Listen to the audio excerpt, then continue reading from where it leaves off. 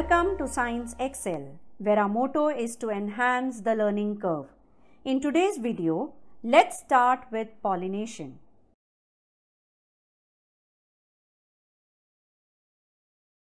In our previous video, we had examined the structure of a flower in detail. So, where are the male gametes present in a flower? The male gametes are present inside the pollen grains which are made in the anthers. Now let's learn more about pollen grains. Did you know that the anther has four pollen sacs inside it? Some of the cells around the edge of the pollen sacs divide by meiosis to make pollen grains. When the flower bud opens, the anthers split open and the pollen grains are then revealed. The pollen looks like a fine powder. Pollen grains from different types of flowers have different shapes like round or oblong. Each grain is surrounded by a hard coat so that it can survive in difficult conditions. This coat protects the male gametes that are inside the grains as the pollen is carried from one flower to another.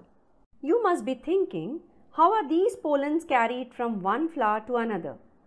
This lands us on the term pollination. Pollination is the process of transfer of pollen grains from the male part of the plant, the anther, to the female part of the plant, that is the stigma. Now, do you know what are the different types of pollination? Well, let me explain. Self-pollination is the transfer of pollen grains from the anther of a flower to the stigma of the same flower or from the anther of a flower to the stigma of another flower on the same plant. Cross pollination is the transfer of pollen grains from the anther of a flower to the stigma of a flower on a different plant of the same species. You would be amazed to know pollination by bees makes two-thirds of our world crops and 85% of flowering plants possible. We all know that bees help us in pollination and without them we wouldn't exist.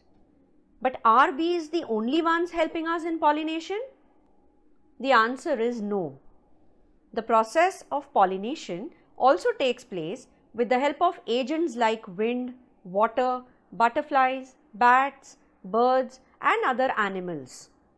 Now let's understand the characteristics of insect pollinated and wind pollinated flowers.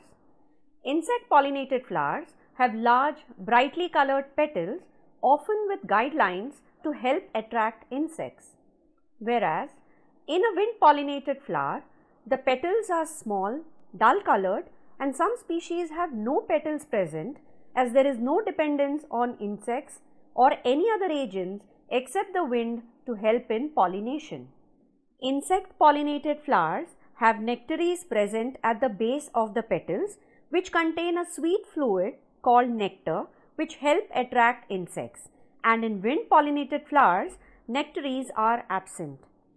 Insect pollinated flowers have anthers and stigma inside the flower. The insect has to brush past them to reach the nectar whereas in a wind pollinated flower anthers and stigma dangle outside the flower where they catch the wind to propagate.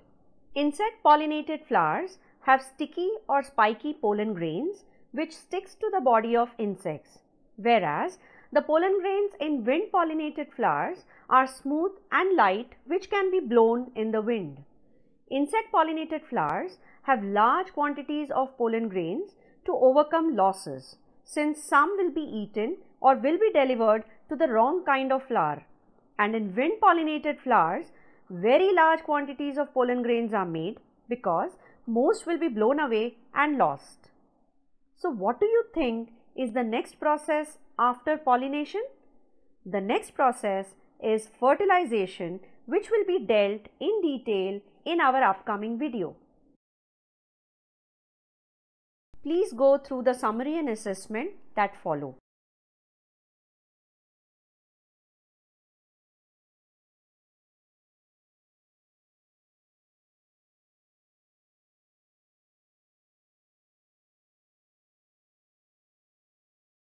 Thanks for watching.